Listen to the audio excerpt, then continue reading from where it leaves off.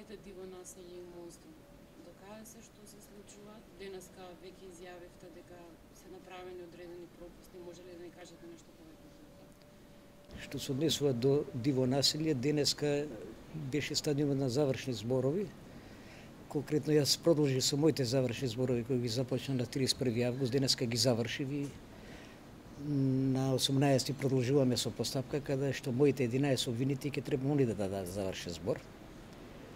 Постапката е пред завршување. Според мене негде до крајот на септември треба да заврши, а пресудата очекуваме да биде објавена во втората половина на октомври. Ова е динамика која до сега се развива.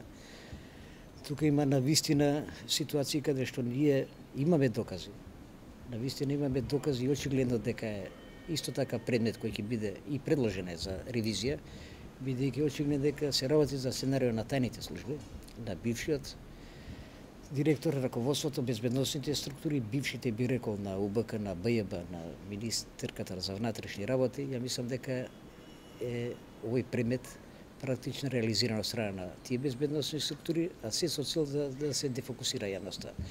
Отако се кажате, тие беа, тоа беше интервал времески кога народот практично во мај месец, а и пред и потоа беше на улица, тука беше значи убиството на протестите поради убиството на Мартин Нешковски беа најавени оние протести на опозицијата некако како бившиот режим како да имаше значи потреба да го дефокусира јавното мнение, па мислам дека затоа и се случи целиот настан кој излезе очигледно од контрола. Мислам дека имаше можност и мораше значи безбедносните сили да превенираат тука превентивно да действуваат.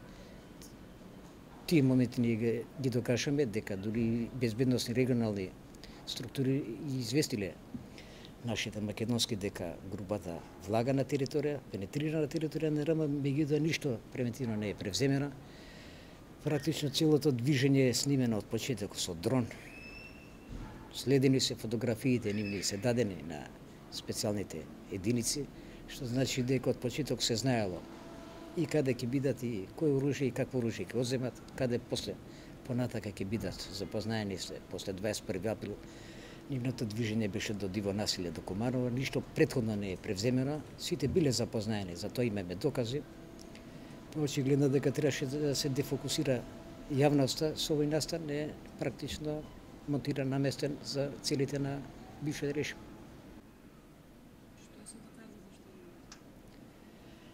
Ние и во завршен збор значи ги истакнаме доказите на кои се повикуваме, кои практично го докажуваат, па се повикаме дури на доказите на самата јавно со самите загрозени сведоци. И тука произлегува дека целата таксија е во е правилата, полициски или позитивните прописи, посебно во законот за полиција. Значи една стихина акција со која практично ќе мора се преземе нека одговорност на раководните структури, бидејќи се пратени млади луѓе кои за жал погина, се застрелени без да воопшто знаат и каде одат и зошто одат. Со еден краток брифинг од некои 2-3 минути, што знаеме дека според правилата тоа треба сепак да се припреми една таква акција. Целата акција е стихино така изведена поради тоа и се последиците. Јас не велам дека тие последици се посакувани од нашите безбедносни структури, меѓутоа поради брзината и аматерското постапување, во случајот затоа и настапија такви страшни следици според мене.